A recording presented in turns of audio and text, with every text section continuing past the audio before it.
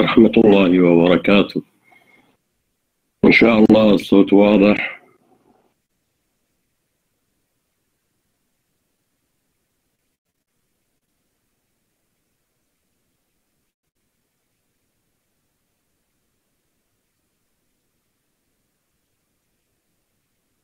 صوت واضح طلابنا؟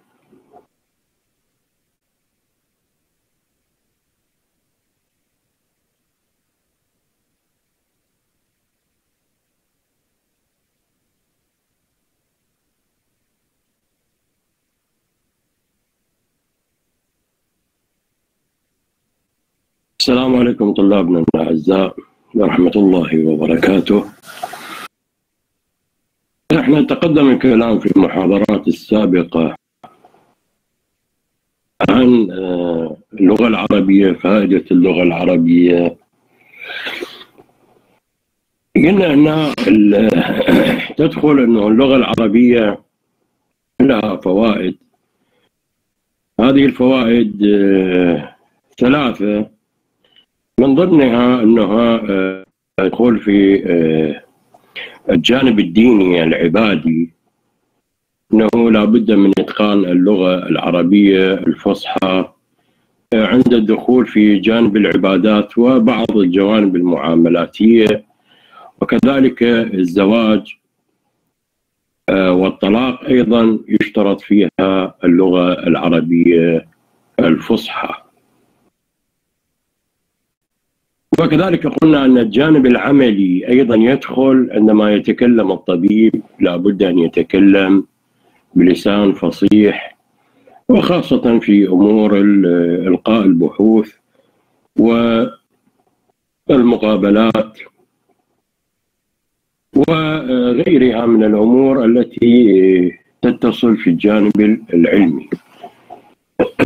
الجانب المهني. فاحنا شوف ركزونا على مفردة الإتقان. الإتقان. يعني أكو رواية عن النبي صلى الله عليه وآله. آه، من رحم الله من عمل عملا فأتقنه. شوف هذه قاعدة ذهبية.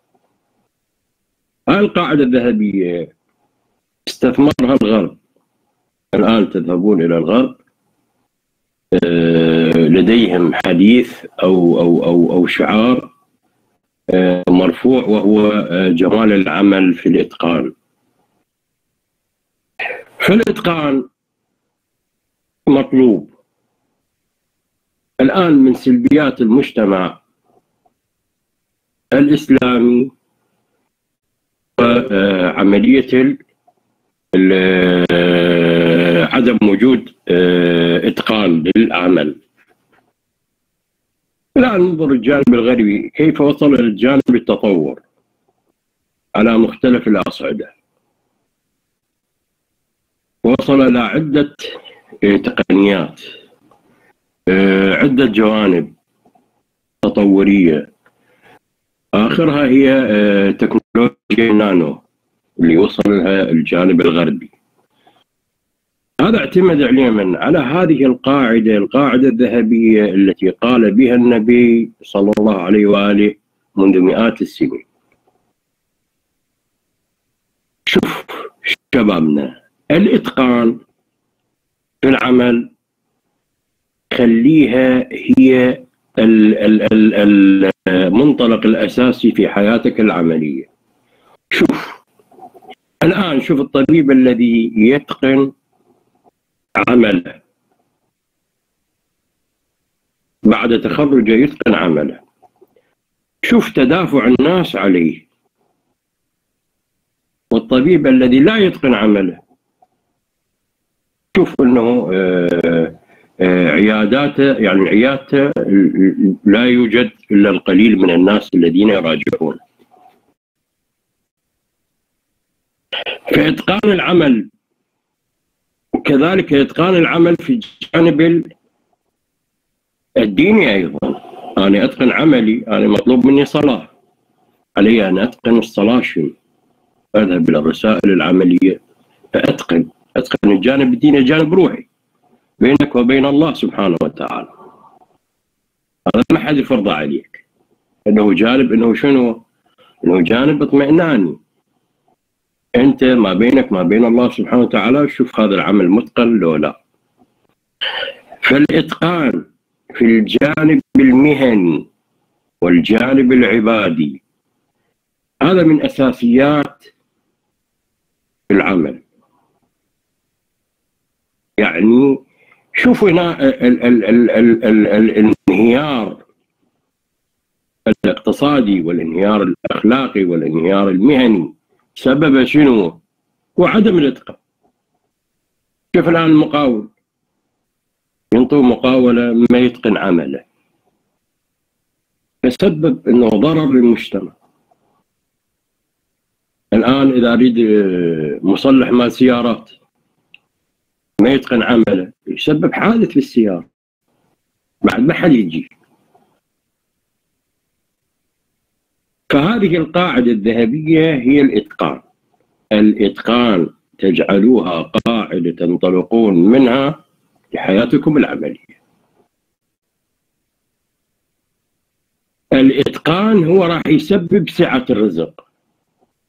هذا الإتقان إذا كان الإنسان يريد جانب مادي فالإتقان هو الذي سوف يفتح له أبواب الرزق. اذا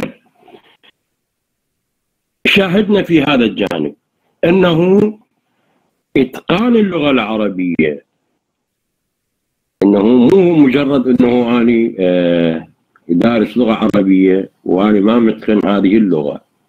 لا علينا إتقان تدريب ألسنتنا على هذه اللغة. اليوم راح نتكلم عن آه العلامات الإعراب الأصلية والفرعية.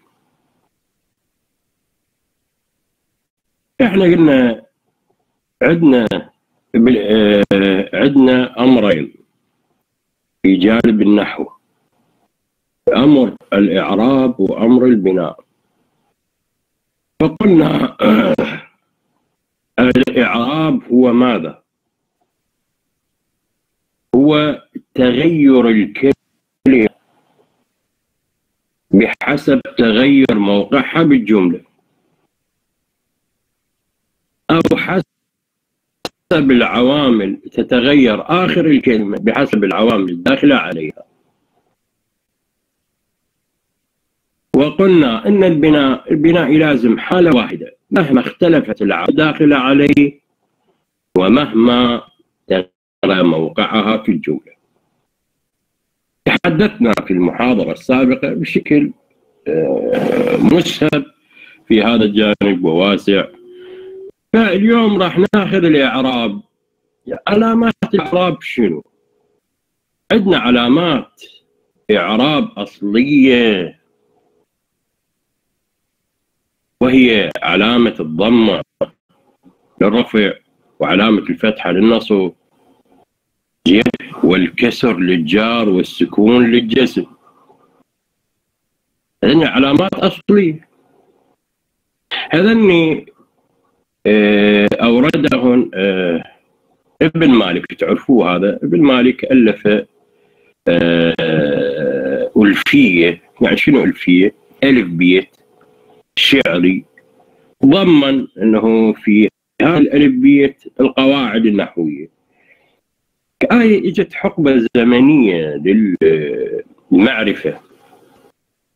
المعرفة في ذلك الزمان. آه، إجت إنه جانب تاليف قصائد في العلم. واحد آه، قواعد علمية طبية بألف بيت. واحد جغرافية بألف بيت. واحد فلسفية بألف بيت. واحد آه، خلى البديع والبلاغه خلاها في ألف بيت. ضمن في كل بيت قاعدة من هذه القواعد. الغرض من هذا الجانب هو سهولة الحفظ يعني كانوا اللي الكلام المنظوم يمكن حفظه.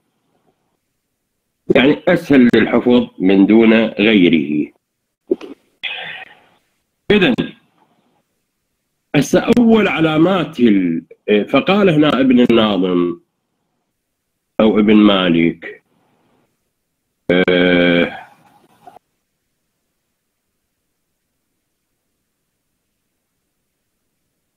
لا لا بابا رسل عيني. رسل إحنا جاي نسولف على العلامات الأصلية مو الفرعية. هسه راح شوف توضح. الآن راح تتوضح عندنا علامات أصلية وعلامات فرعية. الأصل الأصل في الجزم يا هو سكون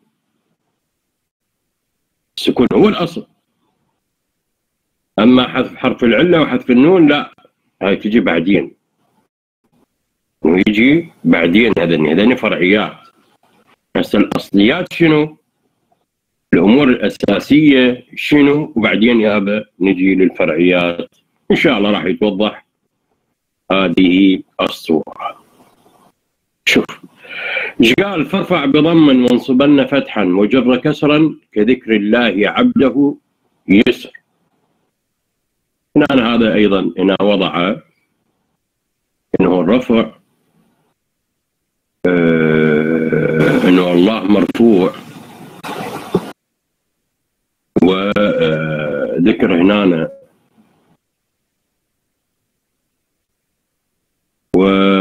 ويسر أيضا وعزم بتسكين وغير ما ذكر ينوب نحو جاء أخو بني نمر. إلى آخره. بس إحنا ما محتاجين من باب الشاهد. الرفع بالضمة. يتم الرفع بالضمة في أربعة مواضع. هسه إحنا الضمة شنو هل هي علامة رفع أصلية لو لا؟ بالعلامة رفع أصلية. الأصل بالرفع شنو يكون ماذا؟ هي الضمة. الضمة هي الأصل بالرفع.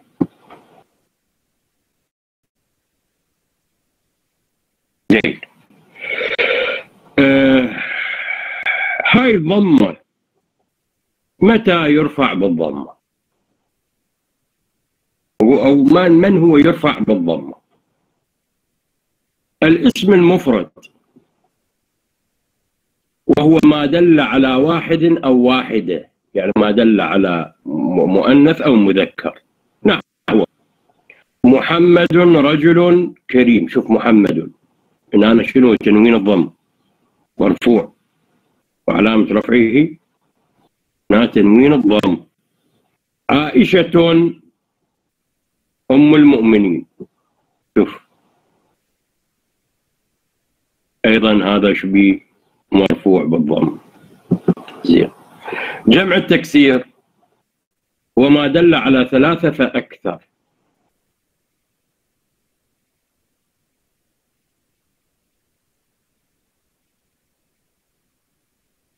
مع تغيير يحدث في بنية مفرده بزيادة. جموع التكسير شنو جموع التكسير هي التي لا ترفع بال آه، بالواو والنون. أو بالياء والنون وإنما شنو تعرف بالحركات؟ جمع التكسير. جيم. مثل فنون. فنون جمع. وهو آه، مفرد. هنا مفردة يا هو فن. أوطان جمع. مفرد وطن. وما شابه ذلك. هذا من يجي يقول يقول فنون البلد كثيرة. فنون شبيه مرفوع وعلامة رفعه شنو؟ الضمة. زين. وتقول هذه أوطان الأمة. نا أوطان شبيهة مرفوع. زين الآن هذا الأمر الثاني. الأمر الثالث جمع المؤنث السالم وهو ما دل على ثلاثة فأكثر من الأناث مع سلامة بناء المفرد بزيادة ألف وتاء في آخره. جمع المؤنث السالم هو ما دل على أكثر آه، من ال من من الاثنين. أكثر من الاثنين ما دل على ثلاثة وأكثر هذا يسمى جمع. هذا الجمع إذا دل على مؤنث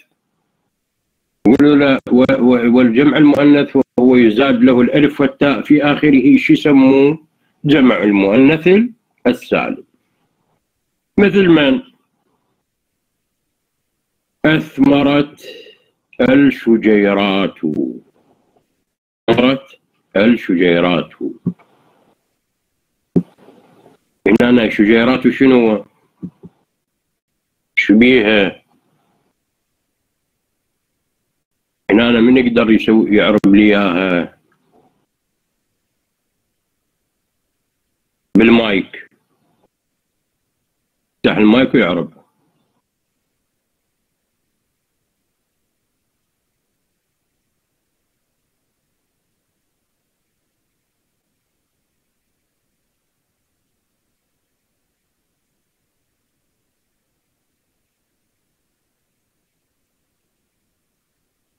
زين الفاعل مرفوع. علامة رفعه شنو؟ الضمة. جيد. أحسنت. أحسنت. إذا الشجيرات شنو؟ جمع. مؤنث سالم. هذا جمع المؤنث السالم. يعرب بيش. يعرب بالحركات يرفع بالضمة. والصلوات الخمس مكفرات للذنوب. الصلوات الخمس بهن مكفرات للذنوب. هنا وين جمع المؤنث السالم. يا عافية. عافية مريم تقول الصلوات. زين. هنا الصلوات شبيهه إيه عافية. عافية اراء صلوات في محل رفع.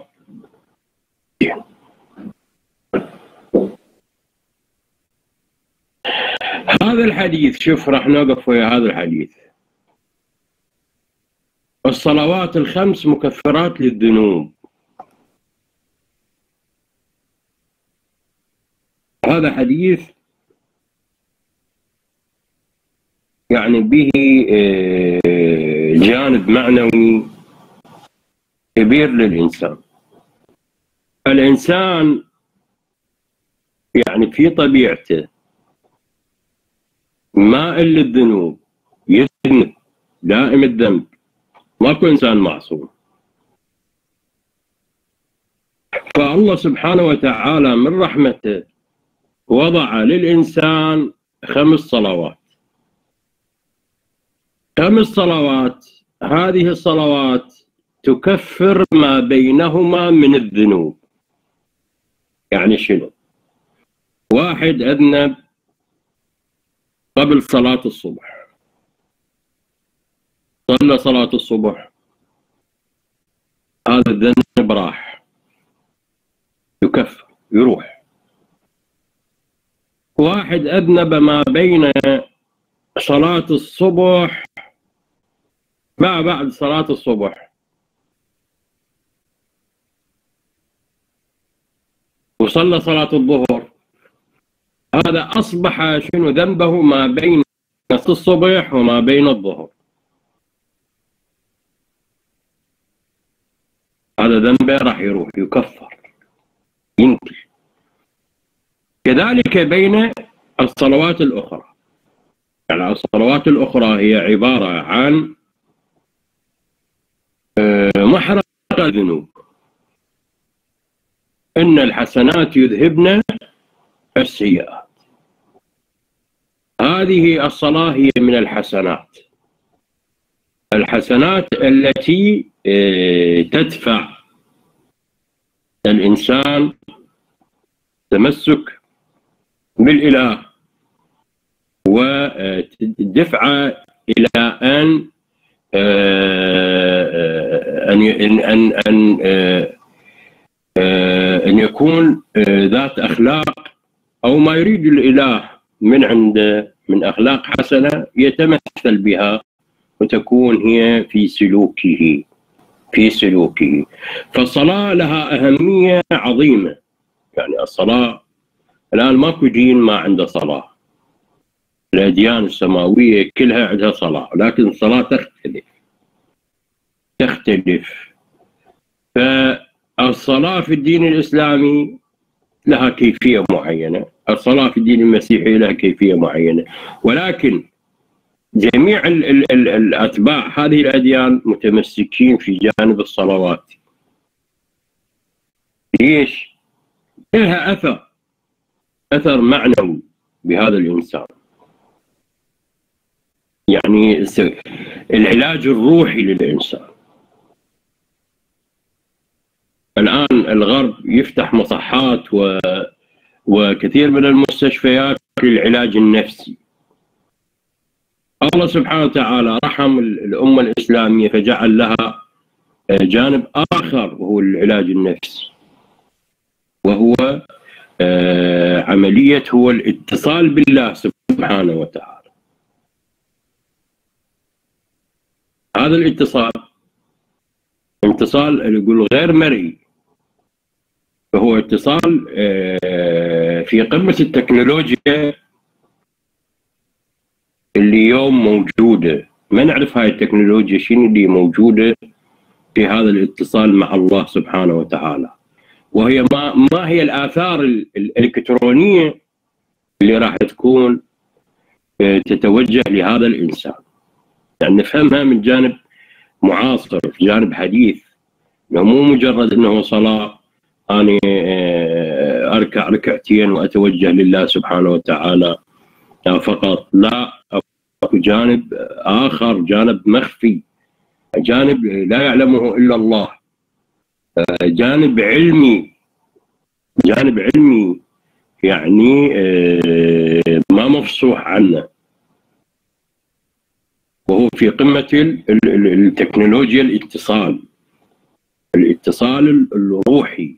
هذا الاتصال الروحي أيضا الغرب لهم آه، أبحاث واسعة في هذا الجانب. أنه الإنسان لابد للإنسان من اتصال روحي مع آه، قوة أعظم من عنده.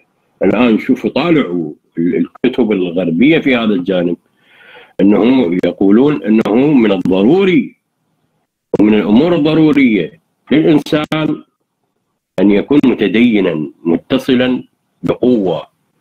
الآن انظر في أمريكا الأمريكا الفلاسفة الإلهيين شوف جاي يسوون وينظرون ضد الفلاسفة الماديين آه، آه، الشيوعيين.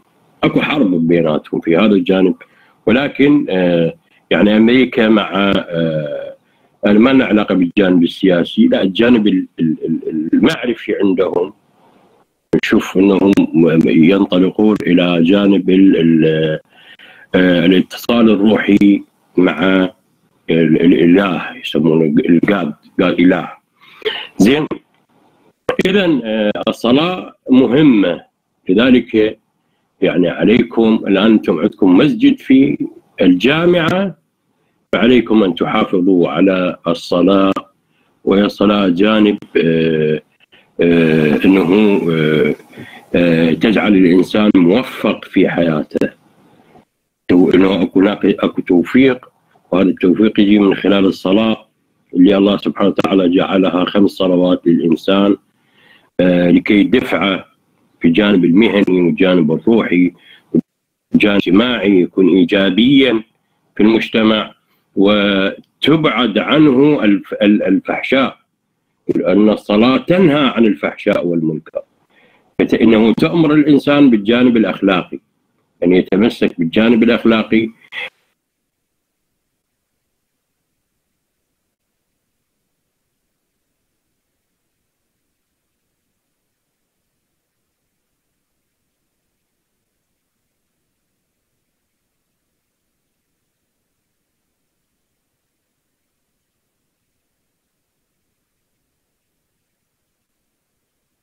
ال ال الشخص.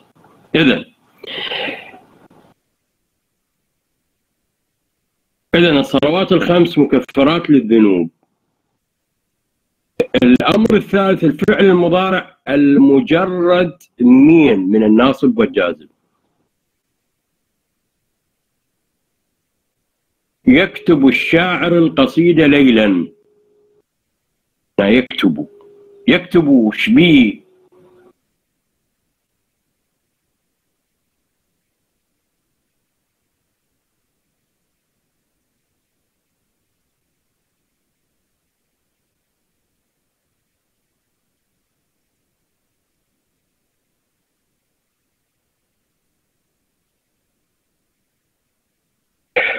لا ماكو اكو ماكو بالنسبة لل اكو وقت للصلاة. حيد الرياض اكو وقت للصلاة نصف ساعة موجودة. نصف ساعة ما بها محاضرات.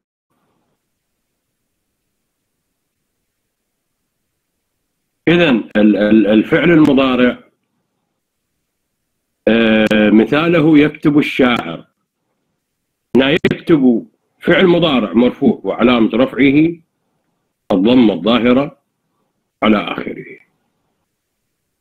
هنا شنو الضمة إجت الضمة العلامة الثانية العلامة الثانية شنو؟ النصب. هاي النصب بيش الفتحة الفتحة شنو هي؟ العلامة الأصلية وين؟ للنصب زين يتم النصب بالفتحة في مواضع عدة وهي الاسم المفرد وهي الأسماء التي محلها النصب في الجملة. مثاله إن الله غفور رحيم.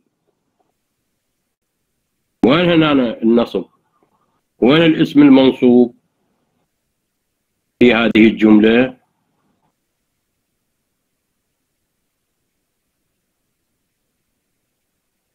أحسنت. أحسنت زهراء وآيات ورسل جيد.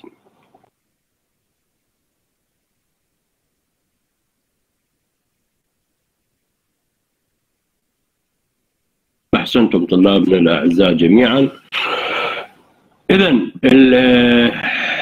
هنا إن أخذت الاسم الله هنا أخذت اسم لها. فإن من أدوات النصب. هنا نشوف الاسم الجلالة. الله سبحانه وتعالى شبيه علامة نصبه الفتحة علامة نصبه الفتحة هنا زرعت الحقل قمحا. هنا أنا وين الاسم المنصوب؟ الحقل وكذلك قمحا. قمحا أيضا شنو؟ أيضا هنا اجى مفرد. صفة. صفة مفردة. هاي للاسم أيضا شبيه القمح شنو القمح؟ آه لا زرعت الحقل قمحا. أيضا هنا هو آه القمح أحد الأسماء أيضا. أحد الأسماء.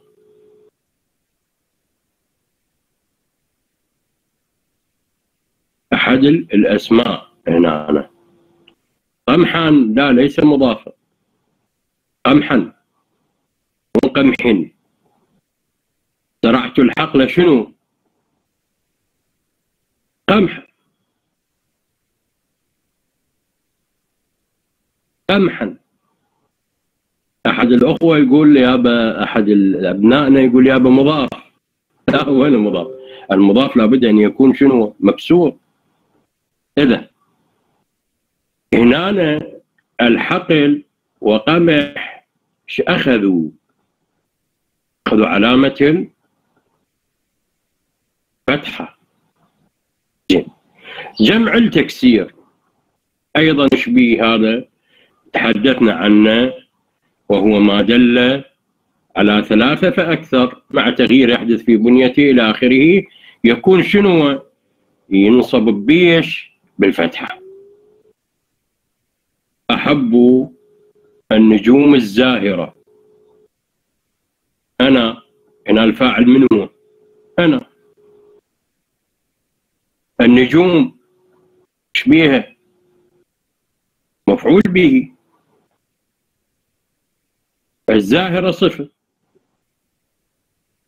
النجوم شوف هنا علامته. علامته شنو فتحة علامته الفتحة.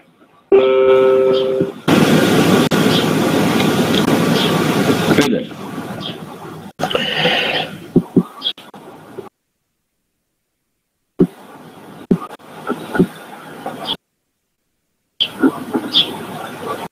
الأمر الآخر الفعل المضارع.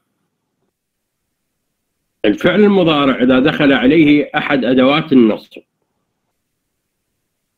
وهو الفعل المضارع المنصوب بأحد حروف النصب أو المنصوب بأن مضمرة بعد حتى أو بعد لام التعليل. نحو لن يضيع الله ضيعه. لن يضيع الله هنا.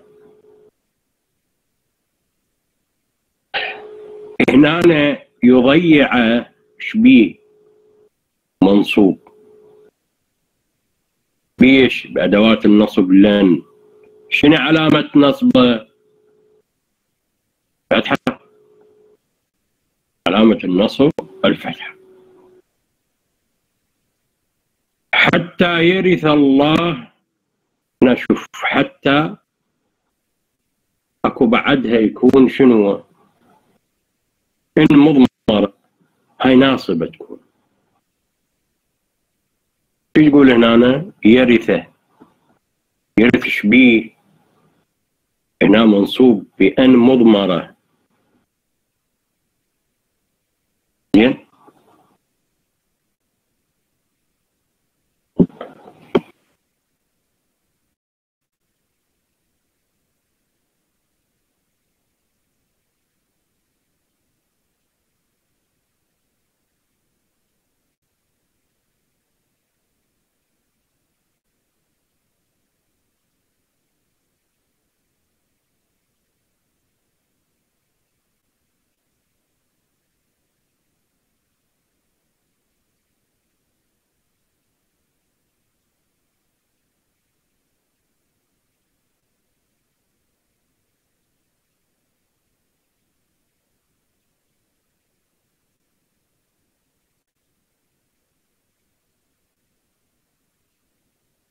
جيد.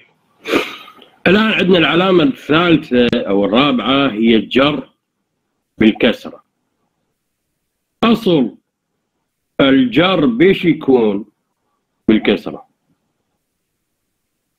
يتم الجر بالكسرة في مواضع مختلفة. نفس هنا راح نعيدين. الاسم المفرد. شو يقول هنا صليت في بيت الله.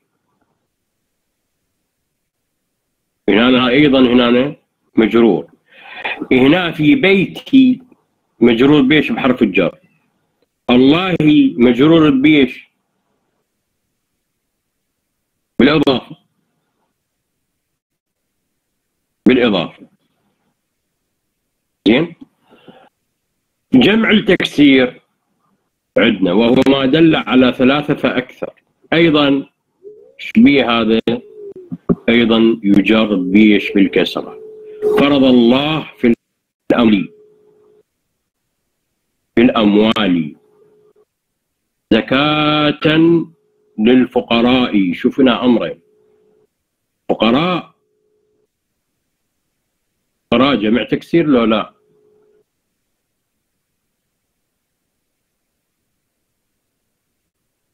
تقولون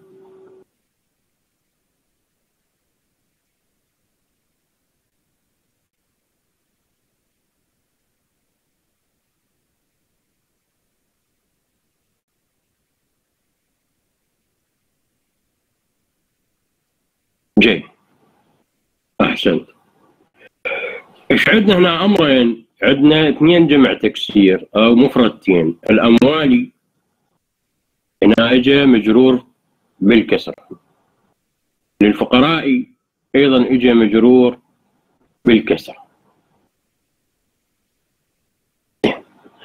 عندنا جمع المؤنث السالم. أيضا إحنا تحدثنا أنه ما دل على أكثر. بزيادة تاء ونون زين. وكثيرا من النحاة يسميه الجمع بالألف والتاء الزائدتين. تعيش الأسود في الغابات.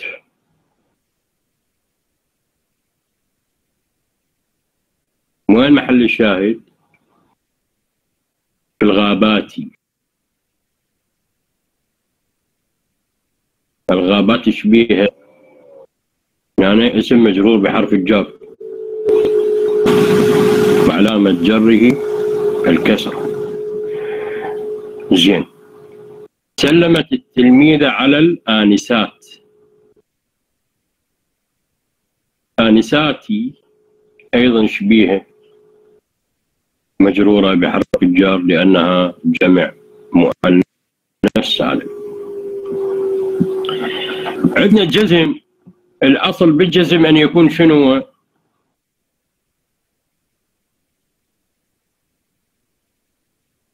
شوف يقول الفعل المضارع الصحيح الآخر. إذا يتصل بجازم إذا لم يكن قبله جازم آه، إذا لم يكن آه، قبله آه، ناصب ولم يكن في آخره حرف علة إيش راح يكون؟ هذا يلزم بالسكون. إذا دخل عليه جازم هنا أي الذي لم ينتهي بحرف علة والمجزوم بأداة جزم الفعل المجزوم لوقوعه في جملة شرط أو الطلب. مثال. من يدرس ينجح. هنا أنا شنو؟ من جازمة ويدرس. مجزوم فعل مضارع مجزوم وعلامة جزمه السكون. أو هنا ينجح. لا من يدرس ينجح. هنا العلامة. من يدرس ينجح. أيضا هنا ينجح آه، مجزوم آه، لأنه جواب. ولن أجد أحدا صادقا. لم دخلت على أجد فجزمته وهو ليس فيه حرف علة. كان صحيح الآخر كانت علامته السكون. هسه إحنا تحدثنا عن العلامات ال ال ال الأصلية. راح نتحدث عن العلامات الفرعية. أكو عنده سؤال عن العلامات الأصلية. إن شاء الله المحاضرة واضحة. ما بها غموض.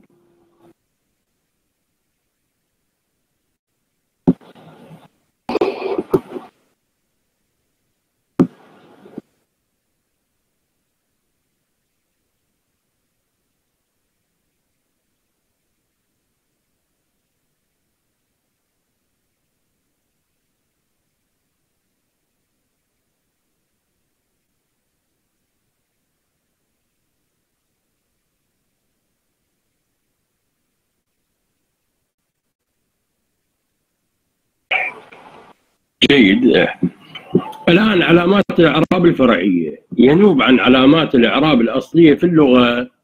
قلنا العلامات الأصلية شنية بالرفع والنصب والجار والجزم. الضمة والفتحة والكسرة والسكون. العلامات الأصلية. ينوب عن هذه العلامات الأصلية على مختلفة. وقد ينوب حرف عن حكة أو حركة إعرابية فرعية عن حركة أصلية أو ينوب حذف الحرف عن السكون كحذف حرف العلة أو حذف النون ويمكن التفصيل في ذلك. علامات الرفع الفرعية. شنو علامات الرفع الفرعية؟ راح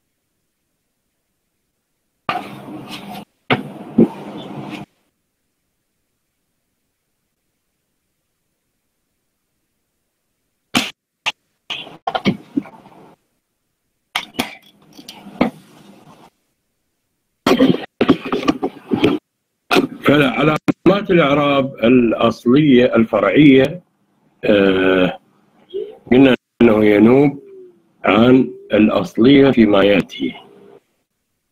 أولا ينوب عن الضمة علامات الرفع الفرعية الآتية الواو في جمع المذكر السالم. مثل المجاهدون منتصرون. شوف المجاهدون مرفوع علامة رفعه شنو؟ هو؟ الواو لأنه جمع مذكر سالم. ومنتصرون أيضا. فهنا علامة رفع شنو صارت؟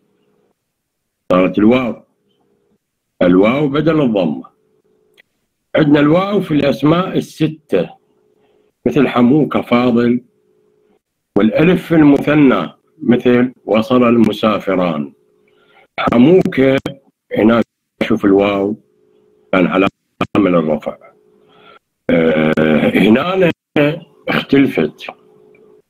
الألف في المثنى المثنى بيش يرفع بالألف. المسافران وصل المسافران. ثبوت النون في الأفعال الخمسة مثل من؟ الآن هاي الأفعال الخمسة ترفع بيش بثبوت النون. وهنا ثبوت النون. علامات النصب آه، الفرعية.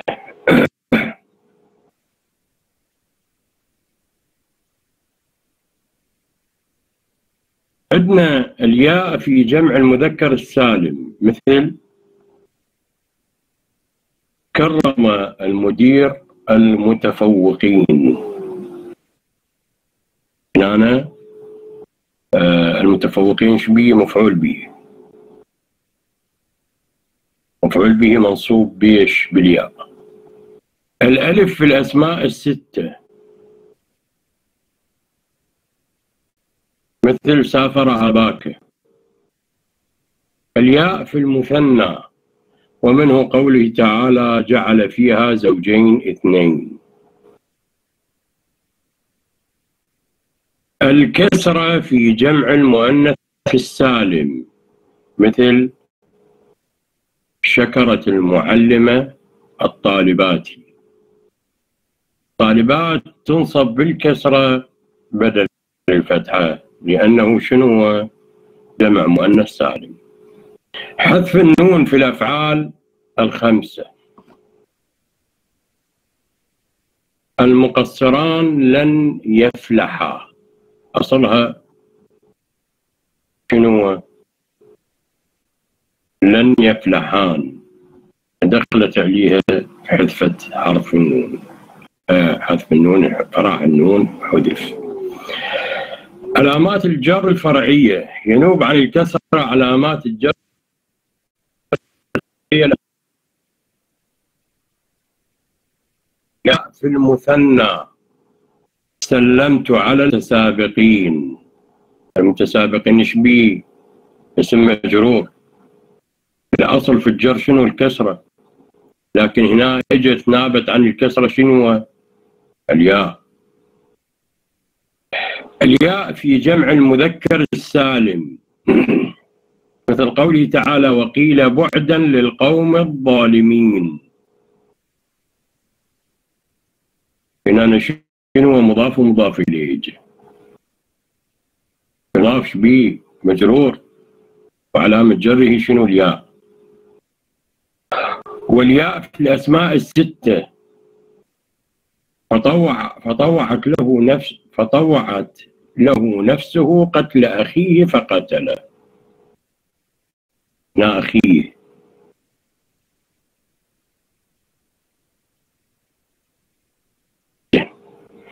الفتحة في الممنوع من الصرف مثل جلست مع أحمد. مع أحمد. مع يكون شنو مضاف ومضاف إليه.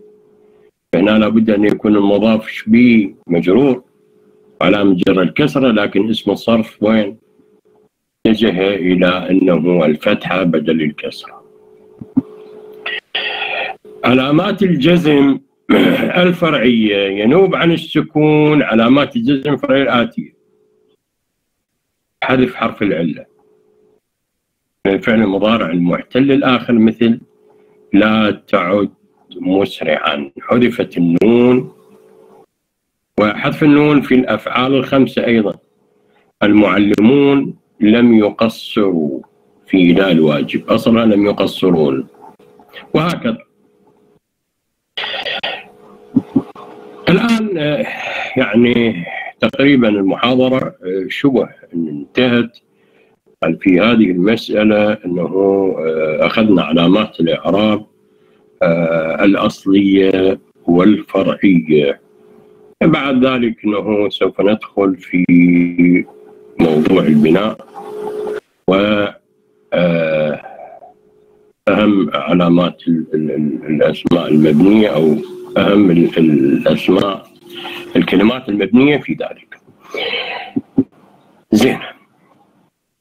الآن سجلوا لي أسماءكم. وهناك مسألة تثبتوها يمكن. عندنا حفظ آيات قرآنية سور قرآنية. عندنا سورة الفاتحة والتوحيد. والمعوذتين والكافرون. أذني مطالبين بحفظهم. الفاتحة سجلوها. الفاتحة والمعوذتين والتوحيد والكافرون. صار واضح؟